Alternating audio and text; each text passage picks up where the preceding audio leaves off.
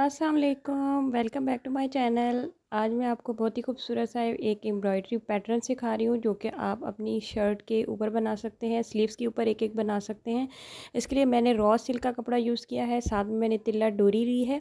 इसको तिल्ला डोरी कहा जाता है। आपने कोशिश करना है कि सिर्फ़ तिले वाली ही हो, उसके अंदर धागा ना हो, क्योंकि ये बाद में फिर ख़राब भी हो जाती है। एंकर का एक एक गुंजी जो है, एक वो मुझे चाहिए। साथ में मैंने इस तरह से ये देखिए, बेल सी ड्रॉ कर ली है। और अब मैं कार्बन पेपर रख कर इसको ड्रॉ कर लूँगी, ठीक है?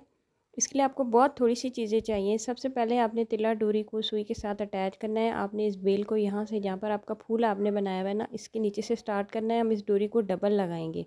तो जहाँ जहाँ पर इसको हमने मोड़ना होगा, वहाँ पर हम डबल स्टिच लगाकर इसको मोड़ लेंगे। ये बहुत आसानी मुड़ जाती है। इसकी शेप जैसे आप बनाना चाहें, बन जाती है। जैसे कि अभी आपको लीव्स नज़र आ रहे हैं। तो इस लीव के अंदर हमने चूँकि धागे की फिलिंग करनी है, इसलिए हम इसको, इसके आसपास पहले डोरी लगा लेंगे। जे, लेकिन जिन लीव्स के ऊपर आपने पत्तियाँ गोटे की बना के लगानी है तो उनकी आपने पहले पत्तियाँ लगानी है, उसके बाद आपने उनके आसपास डोरी लगानी है, ठीक है? तो इस तरह से जहाँ जहाँ डोरी लगा लगानी है, मैंने मैं इस तरह से बारीक बारीक स्टिचेस लगा के लगा लूँगी। स्किन कलर का मैं धागा यूज़ कर रही हूँ। आप चाहें तो आप गोल्डन तेला भी यूज़ कर सकते हैं।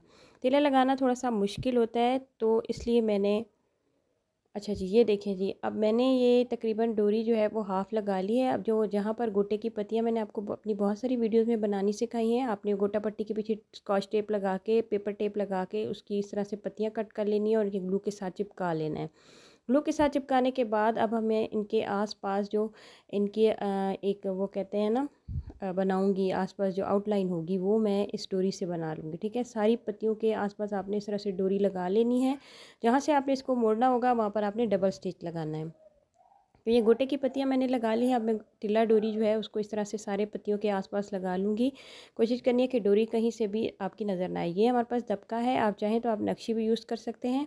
नक्शी भी यूज़ हो सकती है और दबका भी यूज़ हो सकता है। सबसे पहले मैं इस फूल को तैयार करूँगी। इसके अंदर पहले मैंने सफ़ेद मोती लगाया है। उसके आसपास अब मैं दबके का पीस कट करूँगी इतना ही जितने के मोती की लुक गुलाई है, ठीक है? उसके बाद आपने इसको इस तरह से गुलाई में मोती के आसपास लगा लेना है, इस दबके को, दबके के पीस को। अब हम अपनी पत्तियों को तैयार करेंगे। जितनी आपकी पत्तियों की लंबाई है, इतनी लंबाई का आप दबके का एक पीस कट कर लें, सारे पीसेस कट कर लें एक साथ, एक जैसे।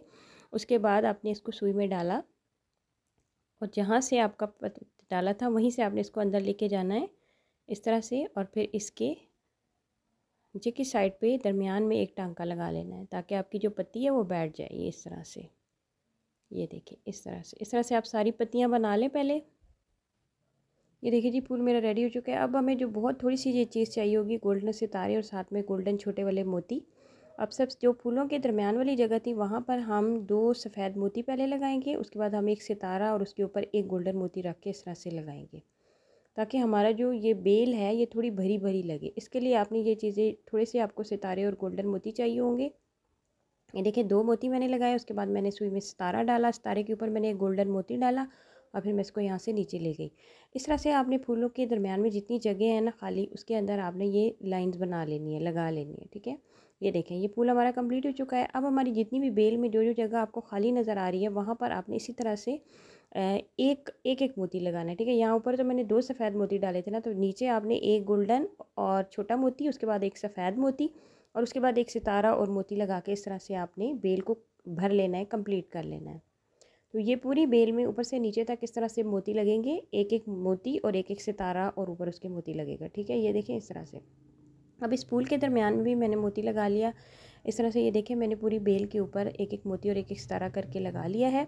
अब हमारा ये एक पत्ता रह गया था जो कि हमने दबके से बनाना था। एक साइड मैंने बना ली है, दूसरी साइड में अभी आपके सामने बना रही हूँ। इस तरह से दबके के लंबे लंबे पीसेस कट करें, उनको इस तरह से गुलाई में लगाएँ। ऊपर नीचे रख कर जब आप लगाएँगे तो खुद ब खुद आपके पत्ते की शेप बन जाएगी। चार पीसेस आपने इस तरह से लगाने हैं, एक दूसरे के ऊपर नीचे रख के और फिर सीधा एक पीस लगा कर पत्ते की शेप बना लेनी है। ये देखिए इस तरह से। ये देखिए जी, ये हमारा पत्ता तैयार हो चुका है। फूल हमारा ऑलरेडी तकरीबन कंप्लीट हो चुका है। अब हमने एंकर का धागा लेना है, उसको डबल सुई में डालना है और इस तरह से पहले हम फूल की फिलिंग करेंगे। फूल के लिए आपको सिर्फ़ एक एक टांका चाहिए होगा। एक एक टांका आपने लगाना है, इसकी फिलिंग हो जाएगी क्योंकि पत्ते हमारे इतने चौड़े नहीं थे। अब जो लीव है उसकी भी इसी तरह से आपने तिरछे आपने टांके लगाने हैं, बिल्कुल करीब करीब करके लगाने हैं ताकि आपका जो पत्ता है वो भी भर जाए। ये देखिए इस तरह से। अब जो हमारा नीचे फूल है उसको भी हम इसी तरह से इसकी फिलिंग कर लेंगे इस धागे के साथ। इससे इसकी खूबसूरती थोड़ी ज़्यादा लगेगी जब आप कलर यूज़ करेंगे। आप पिंक कलर की जगह कोई भी कलर यूज़ कर सकते हैं। तो इस तरह से आपने जो खाली पत्ता और फूल है इसको, इसकी सारी फिलिंग कर लेनी है इस धागे के साथ। और साथ में आप पिंक मोती लगाएँ। मैंने अपनी एक पहली वीडियो पे भी इस तरह से एक पैटर्न आपको सिखाया था, बहुत ही खूबसूरत सा लग रहा था वो। ये देखें इस तरह से आपने बना लेना है। उम्मीद करती हूँ कि आपको आज की वीडियो भी अच्छी लगेगी। आपने मुझे कमेंट करके ज़रूर बताना। है अल्लाह हाफिज़।